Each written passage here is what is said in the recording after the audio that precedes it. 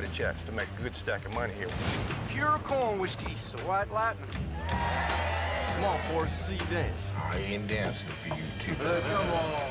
Shia LaBeouf is back in new movie Lawless alongside Tom Hardy and Guy Pearce. At face value, the opportunity that it allotted me had it had we made it to set was the biggest meat I'd ever had to chew on in my career. Lawless has him playing his most controversial role to date, unlike the action hero ones that have made him a household name in the past in movies like Transformers.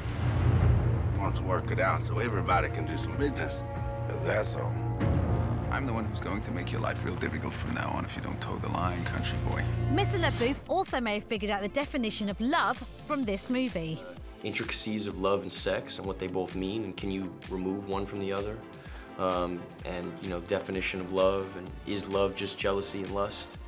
You know, it's just asking a lot of big questions. Lawless is released in the UK on the 7th of September.